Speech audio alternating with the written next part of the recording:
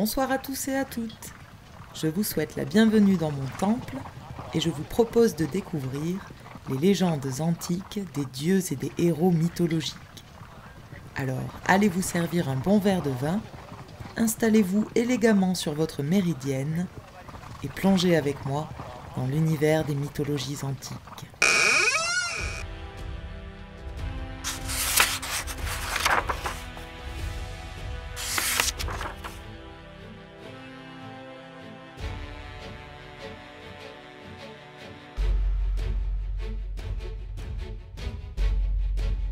Mentionné dans la littérature grecque dès Homère, le puissant Hercule est certainement le personnage légendaire le plus populaire des mythologies antiques.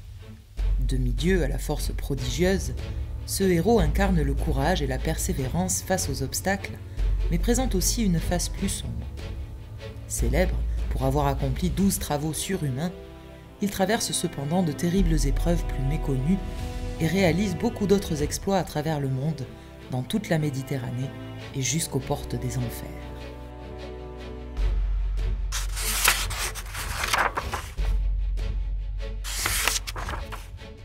Par son père mortel, Amphitryon, et par sa mère, Alcmène, Hercule appartient à la race des Perséides. Ses deux grands-pères, Alcée et Électryon, étaient en effet tous deux fils de Persée. À l'origine, le héros s'appelait donc Alcide, patronyme tiré du nom de son grand-père, qui évoque en grec l'idée de force physique. Il prit ensuite le nom d'Héraclès, qui devint Hercule dans la tradition romaine. J'emploierai ici les deux noms indifféremment. Mais en fait, son véritable père est Zeus, le roi des dieux, qui ayant profité de l'absence d'Amphitryon parti en guerre, trompe Alcmène en prenant l'aspect de son mari et s'introduit dans son lit. Au cours d'une nuit divine, prolongée par Hélios, dieu du soleil, prié de ne pas se lever pendant trois jours, ils engendrent le futur héros. Amphitryon, revenant au matin, donne à Alcmène un second fils, Iphiclès, frère jumeau d'Héraclès, plus jeune que lui d'une nuit, et se résigne à être le père nourricier de l'enfant divin. Avant même leur naissance, la colère d'Héra, épouse jalouse du roi de l'Olympe, commence à se manifester. Zeus, ayant imprudemment affirmé que l'enfant qui allait naître dans la race des Perséides régnerait sur Argos, Héra obtint aussitôt de sa fille Ilithie, la déesse des enfantements, que la naissance d'Héraclès fut retardée, tandis que celle d'Eurysthée, son cousin, fut avancée. C'est ainsi que Eurysthée naquit à sept mois, recevant la royauté à la place d'Héraclès, qui fut porté dix mois par sa mère. Cependant, aucun des fils de Zeus ne peut devenir immortel s'il n'a été au sein d'Héra, et il existe différentes légendes qui racontent comment Héraclès, encore tout petit, y parvint. Selon certains, c'est Hermès qui met l'enfant sur le sein de la déesse endormie. Quand celle-ci s'éveille, elle le repousse, et le divin lait qui coule de son sein se répand dans le ciel en une traînée blanche, la voie lactée. Une autre tradition raconte qu'Alcmène, craignant la jalousie des rats, aurait exposé le petit à sa naissance dans un endroit qui porta par la suite le nom de plaine d'Héraclès. Athéna, étonnée de la vigueur du nouveau-né et de sa beauté, convainc Héra de lui donner le sein.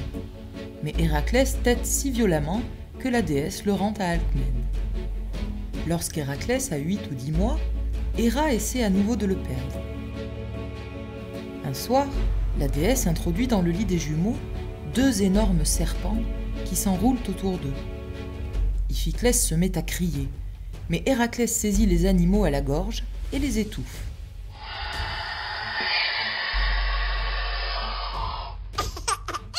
Amphitryon, accouru au cri d'Iphiclès l'épée à la main, n'a pas besoin d'intervenir. Il convoque alors le devin Tirésias, qui prophétise les hauts faits du héros. Dans une autre version, c'est Amphitryon lui-même qui dépose les serpents pour découvrir lequel des enfants est le sien et lequel est le fils de Zeus.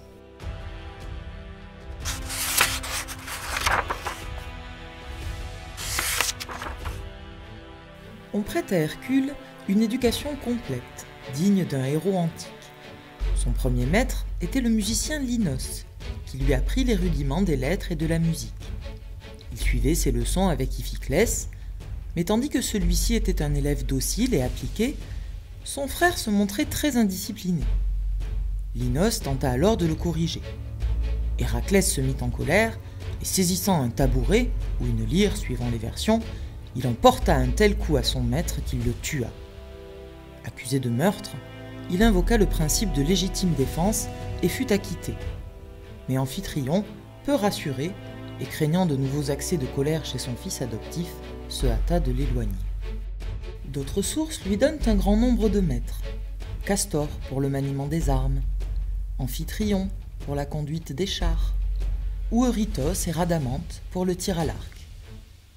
Après le malheureux Linos, il reçut les leçons de musique de Molpos et fut enfin élève du centaure Chiron, renommé pour sa sagesse, sa bonté et ses talents de pédagogue, mais qu'Héraclès tua par accident lors d'un de ses travaux.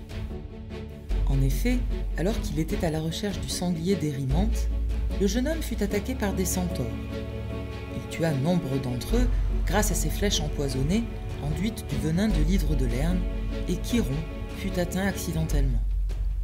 Bien qu'immortel, il souffrait tellement que, ne souhaitant plus vivre, il demanda au dieu de le libérer de son immortalité.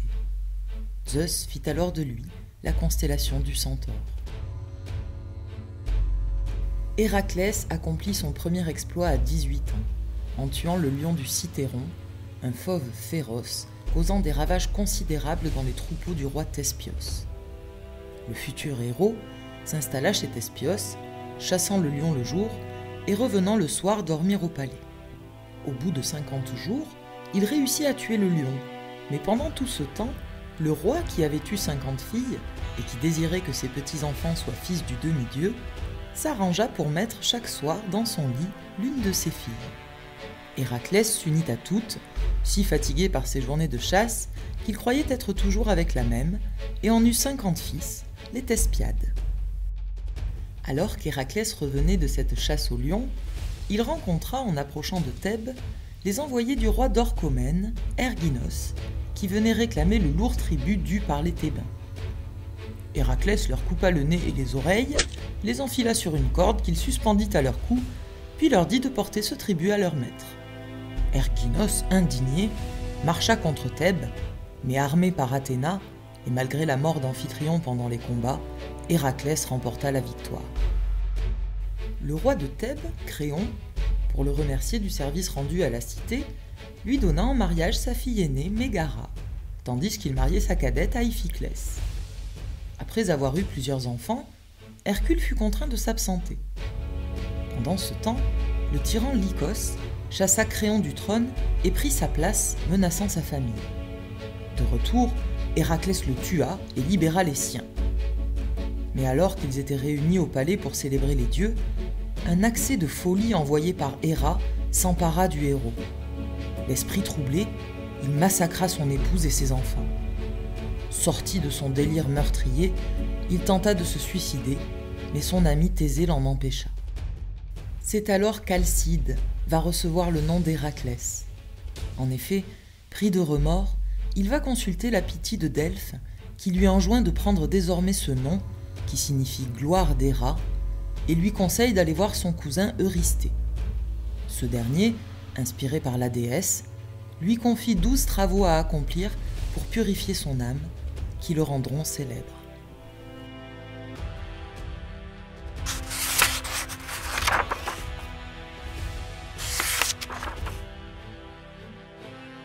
Le premier des travaux d'Hercule consistait à vaincre le lion de Némée, un gigantesque fauve dont la mère Échidna et le père Orthros sont aussi les parents d'autres effroyables créatures comme le sphinx, Cerbère ou l'hydre de Lerne.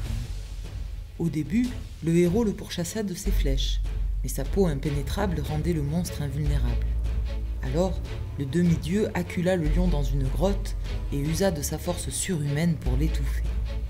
Puis il dépouilla l'animal à l'aide de ses propres griffes, ôta sa peau et la revêtit, portant la tête de la bête comme un casque. Épouvanté de la vaillance du héros ainsi vêtu et capable de tuer un tel monstre, Eurysthée lui interdit de pénétrer dans Mycène et ordonna qu'il dépose son butin devant les portes de la ville. Pour perpétuer cet exploit, Zeus fit du lion une nouvelle constellation. L'hydre de Lerne était un horrible serpent à plusieurs têtes qui causait des ravages dans le pays. Même le souffle s'échappant de ces têtes de serpent était un poison mortel. Héraclès parvint à la faire sortir de son nid, et lorsque le monstrueux serpent apparut, le héros commença à couper ses têtes à l'aide d'une hache. Mais c'était en vain, car à la place de chaque tête tranchée, deux nouvelles repoussaient. Il demanda alors l'aide de son neveu Ioalos, qui mit feu à la forêt voisine, et alors qu'Héraclès coupait les têtes de l'hydre, lui brûlait les chairs ouvertes à l'aide de torches enflammées, afin d'éviter leur repousse. La tête centrale du monstre, censée être immortelle, fut enfin coupée et enterrée sous un rocher gigantesque. Le héros en profita pour tremper ses flèches dans le sang de la bête, un puissant poison. La tâche suivante d'Hercule fut de prendre vivant le sanglier d'Érimante, une terrible bête sauvage aux proportions gigantesques, vivant sur le mont du même nom. Harcelant la bête, la pourchassant en lui jetant des pierres, Héraclès finit par la piéger dans un trou profond et maîtrisa l'énorme sanglier à main nue. Il l'attacha alors avec des chaînes, l'emportant vivant sur son dos à Mycène, et le déposa sur la grande place du marché. La légende raconte que Ristée, saisi de terreur par ce nouvel exploit et à la vue de l'horrible bête, se cacha épouvanté dans une jarre en bronze. La biche de Sérigny était l'une des cinq qu'Artémis, la déesse de la chasse, avait autrefois réussi à capturer sur les bords du fleuve Anoros. Toutes avaient des bois dorés, des sabots d'airain, étaient plus grosses que des taureaux et réputées insaisissables. La déesse en prit quatre pour son attelage, et la cinquième trouva refuge sur le mont Sérigny, consacré à Artémis, il était donc défendu de la toucher ou de la tuer. Cette biche à la rapidité fabuleuse échappa au demi-dieu pendant une année, le menant dans des contrées lointaines. Mais l'animal finit par s'épuiser et il put alors l'atteindre en la blessant légèrement d'une flèche.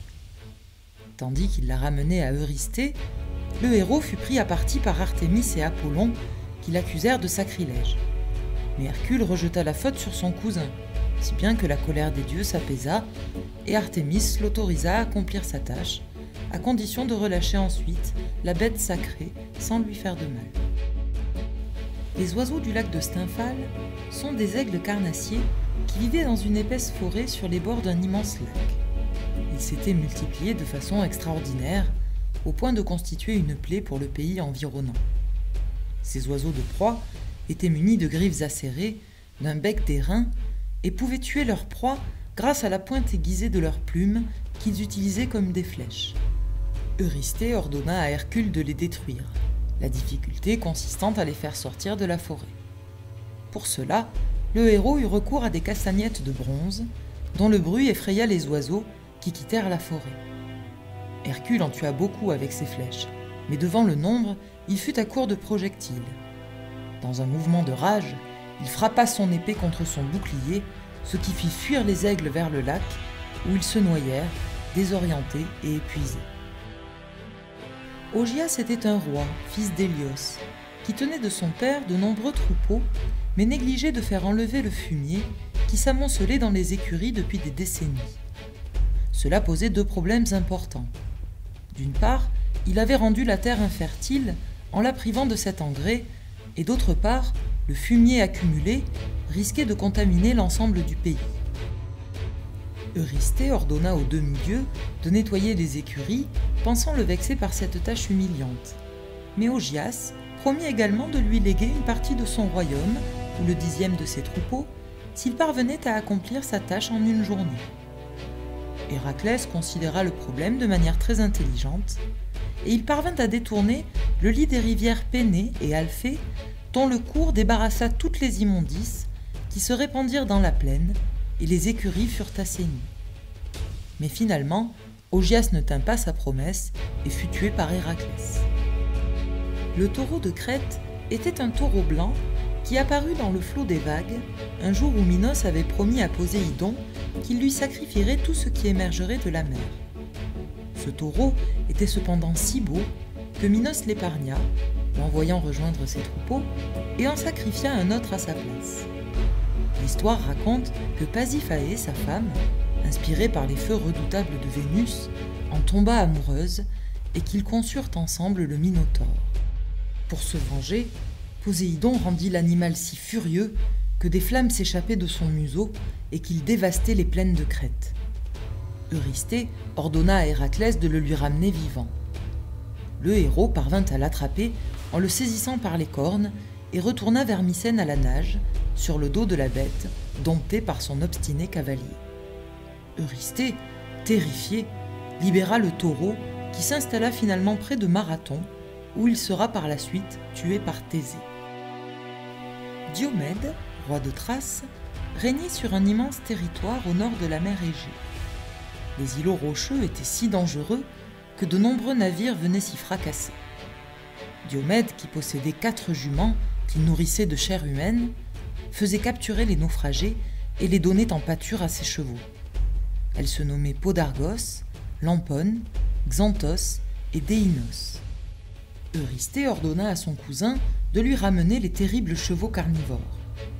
Le héros parvint à exécuter cet ordre en leur donnant pour nourriture le roi Diomède lui-même. Devenus inoffensives, les juments s'apaisèrent et suivirent le demi-dieu. Selon la tradition, Bucéphale, le cheval d'Alexandre le Grand, descendrait de l'une des juments de Diomède. Admétée, la fille d'Eurysthée, désirait posséder la ceinture d'Hippolyte, reine des Amazones, un peuple guerrier composé uniquement de femmes. Les Amazones s'unissaient aux hommes avant de les tuer pour perpétuer une lignée féminine, supprimant les nourrissons mâles pour n'élever que des filles. Arrivées à l'âge de se battre, elles coupaient leur sein droit pour mieux manier l'arc et épargnaient leur sein gauche pour pouvoir allaiter leurs filles. Leur reine Hippolyte portait une ceinture rare, dorée et ornée de pierres précieuses, qui était un présent de son père, le dieu Arès. Hippolyte accepta de remettre sa ceinture à Hercule, venu chargé de présents. Mais Héra, déguisée en Amazone, créa une confusion qui déclencha un combat. Pensant qu'Hippolyte l'avait trahi, le héros la tua et s'empara de la ceinture. Gérion était un monstre qui possédait trois troncs et donc six mains et trois têtes, et qui criait d'une voix pareille à mille guerriers. Il possédait des troupeaux que gardaient Eurytion et son chien à deux têtes, Orthros, frère de Cerbère. Hercule reçut l'ordre de ramener ses bœufs et tua de son gourdin le bouvier et son chien pour dérober les bovins. Lorsque Gérion l'apprit, il s'arma et poursuivit le héros. Mais il fut tué d'une flèche empoisonnée du venin de l'hydre. Durant le voyage de retour, Hercule tua un grand nombre de monstres et de bandits, faisant grandir sa popularité. La légende raconte qu'en souvenir de son passage à Tartessos, deux colonnes furent érigées, les célèbres colonnes d'Hercule, de part et d'autre de l'actuel détroit de Gibraltar. Avant d'arriver à destination, le troupeau connut une crise de folie lorsque les bêtes furent piquées par des mouches envoyées par Héra.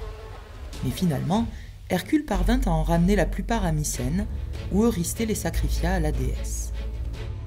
Héra avait planté dans un jardin divin au pied du mont Atlas un pommier fabuleux. Cet arbre donnait des pommes d'or, gage d'immortalité et de fécondité, et Eurysthée en voulut trois. Les précieux fruits étaient souvent dérobés par les filles d'Atlas, les Hespérides, nymphes du soleil couchant. Héra en confia donc la garde à un monstre immortel à cent têtes. En route pour le onzième de ses travaux, Hercule libéra Prométhée, Zeus avait enchaîné au sommet du Caucase, car il avait donné le feu aux hommes, présent réservé aux dieux. Tous les soirs, un aigle monstrueux déchirait les entrailles du titan et dévorait son foie qui se reconstituait dans la nuit. Hercule tua l'aigle d'une flèche et délivra Prométhée de ses chaînes. Reconnaissant, il lui conseilla de demander à Atlas, père des Hespérides, de couper lui-même les pommes d'or.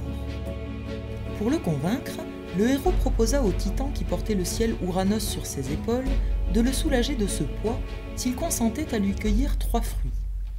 Atlas vola les précieuses pommes, mais voulut les apporter lui-même à Eurysthée.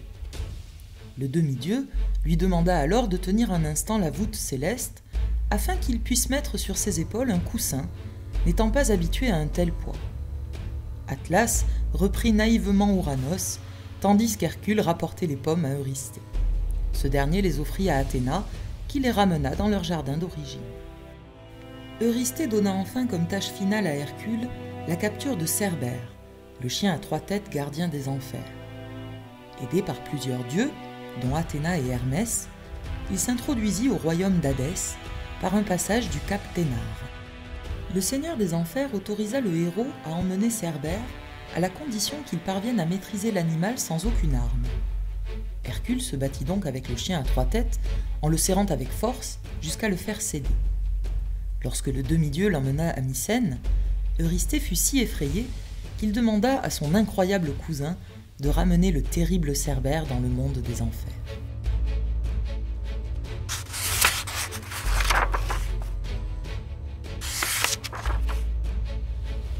Après ses douze travaux, Hercule continua ses exploits et ses conquêtes féminines. En première noce, il avait épousé la malheureuse Mégara, fille de Créon, roi de Thèbes, dont le meurtre, ainsi que celui de leurs enfants, furent la cause de sa lourde pénitence et de son nom. Voulant convoler à nouveau, Héraclès se souvint de la belle Iolée, fille de son ancien maître d'armes Eurytos. Celui-ci déclara que sa fille n'irait qu'à l'archer qui le dominerait, lui et ses quatre fils. Le héros gagna le concours, mais Eurytos refusa d'honorer sa parole, ce qui rendit Héraclès si furieux qu'il tua l'un de ses fils. Pour expier ce crime, la pitié de Delphes, oracle d'Apollon, lui ordonna de se vendre pendant trois ans comme esclave à la reine Omphale. Celle-ci lui imposa un certain nombre de tâches, comme lutter contre les cercopes, cruels bandits, ou rejoindre les expéditions des Argonautes. Puis la reine en fit son amant et finit par lui rendre sa liberté après avoir eu du demi-dieu plusieurs enfants. Héraclès épousa ensuite Déjanire, dont il avait rencontré le frère aux enfers et à qui il avait fait cette promesse. Mais le héros ayant tué malencontreusement un jeune parent de leur famille, les époux furent exilés. Pendant leur voyage, alors qu'ils devaient traverser un fleuve, le centaure Nessus proposa à Héraclès de prendre sa femme sur son dos pour qu'elle traverse à sec pendant que lui suivrait à la nage. Or, Nessus attaqua Déjanire et tenta de la violer. Hercule le blessa avec une des flèches empoisonnées, mais pour son malheur, le centaure mourant conseilla à Déjanire de prendre un peu de son sang, selon lui un puissant filtre d'amour. En réalité, il s'agissait d'un terrible poison. Héraclès put ensuite se venger d'Eurytos en le tuant et en enlevant sa fille Iolée, dont il était toujours épris. Mais lorsque la jalouse Déjanire s'en aperçut, elle lui fit porter une tunique qu'elle avait trempée dans le sang de Nessus, croyant regagner son amour. À peine l'eut-il revêtu que le héros ressentit la brûlure du poison qui le consuma. En tentant de se libérer, il s'arrachait des lambeaux de peau. La douleur fut finalement si intense qu'il préféra y mettre fin en se jetant dans les flammes d'un bûcher. Après sa mort, les dieux emportèrent le héros sur l'Olympe et lui donnèrent comme épouse divine Hébé, déesse de la jeunesse.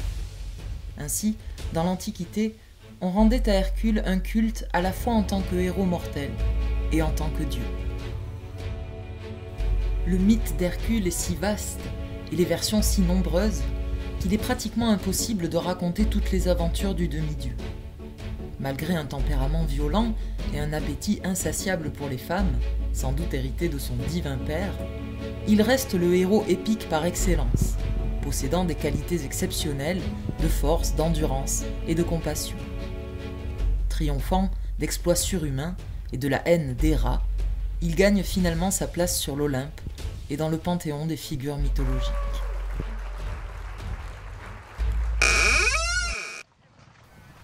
Je vous remercie d'avoir regardé cette vidéo et vous dis à très bientôt pour découvrir de nouvelles légendes des dieux et héros mythologiques.